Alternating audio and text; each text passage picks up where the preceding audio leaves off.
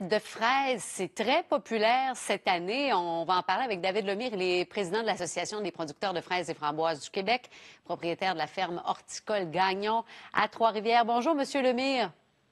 Bonjour. C'est une bonne nouvelle pour vous et, euh, vos, membres du Québec.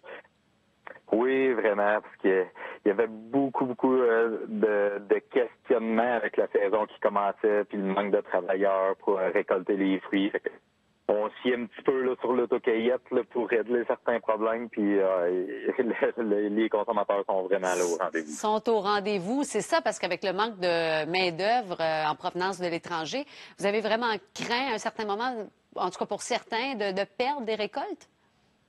Oui, exactement. Puis ça aussi a été accentué par la température très chaude qu'on a eue, qui a devancé certaines variétés.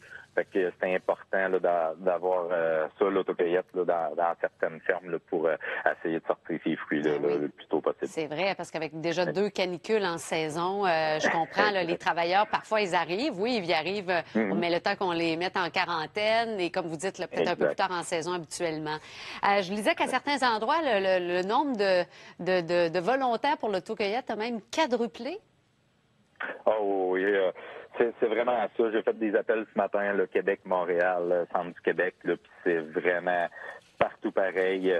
Oui, l'autocueillette qui a augmenté beaucoup, mais toutes les ventes en kiosque aussi, kiosque à la ferme, euh, kiosque, marché public, épicerie, la demande pour le fruit québécois est vraiment mm. exceptionnelle cette année. Je pense que l'appel du gouvernement d'encourager le local a vraiment été entendu pour notre secteur. c'est intéressant. Ça. vous le sentez aussi que les clients sont plus au rendez-vous que l'an passé, par exemple? Ah, vraiment, vraiment. Euh, on parle d'environ ça, 25 à 30% d'augmentation dans les kiosques. Euh, autant là, tous les légumes, toutes euh, les, fraises, les légumes, les fèves, tout euh, sort beaucoup. Fait que les, clients sont vraiment là, les consommateurs, c'est vraiment intéressant. En tout cas, le début de saison ben est, comme vraiment bon. Un soupir de soulagement hein, pour vous? Ah, vraiment, vraiment. Parce que c'est sûr qu'il y, a eu des difficultés. Puis on aussi, le, le manque d'eau a causé quand même beaucoup de problèmes là, chez certains producteurs. Fait déjà la région de Québec, de, Montréal, c'est-à-dire la fraise d'été, il y a déjà une bonne partie de fait, le deux tiers peut-être de la production. Fait que ça a vraiment accéléré le, mûrissement. Fait que c'est sûr que les fraises, ils vont en avoir après ça jusqu'à l'automne avec la fraise d'automne, tout ça. Mais euh, là, les, volumes là, sortent, on est vraiment dedans cette semaine. Tant mieux. Euh, ben, parlez-moi de votre fruit, justement. Là, ça ressemble à quoi cette année? Sont belles nos fraises? Oui, vraiment. C'est, euh, une température ensoleillée comme ça, ça, diminue beaucoup la, pression, par exemple, des, ravageurs ou des maladies. C'est la moisissure, tout ça. Mm-hmm. Là, il n'y a rien de ça cette année parce que le feuillage reste sec longtemps.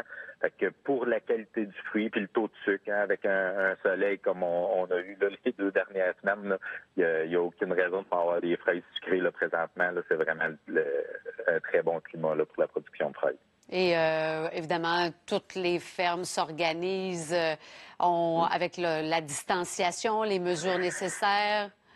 je vous dis que c'est très compliqué. Là. C'est sûr que dans le champ, c'est facile de faire la distanciation. Mais tu sais, apporter le monde en balade dans le champ avec les tracteurs, on, a séparé les balades pour qu'il y ait le 2 mètres de distance. Tout ça. Fait que c'est sûr que ça, a été des casse-têtes un petit peu, mais euh, non, ça, ça, ça, vaut la peine. Là. Puis je pense que les clients sont vraiment contents. Puis ils comprennent aussi des fois faut attendre un petit peu plus longtemps là, pour que la balade, parce qu'on peut juste amener la moitié des personnes que normal. Mais ah on dirait que les gens sont habitués à ça. C'est un peu partout pareil là, dans les autres commerces. On, on s'habitue à ça. Ouais. Votre euh, créativité vous, vous honore. On est euh, rassuré de savoir que vous allez passer une belle saison. David Lamire, je rappelle que vous êtes président de l'Association des producteurs de fraises et framboises du Québec propriétaire de la ferme horticole Gagnon à Trois-Rivières. Merci d'avoir pris le temps d'être avec nous.